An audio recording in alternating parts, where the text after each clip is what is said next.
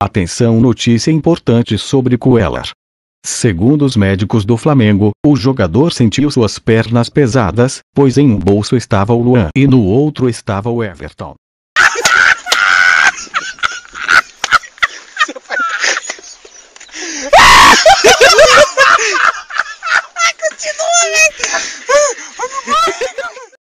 O Flamengo recebe proposta por Rômulo. Time da Gávea não deve dificultar a saída.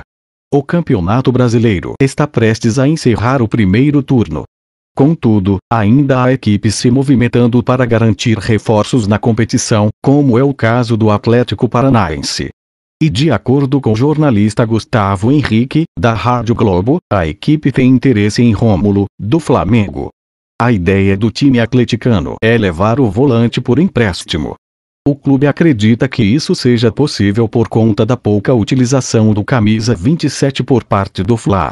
Além disso, o mais querido contratou recentemente o paraguaio Pires da Mota, que se tornou reserva imediato de Coelar, condição que Rômulo era postulante.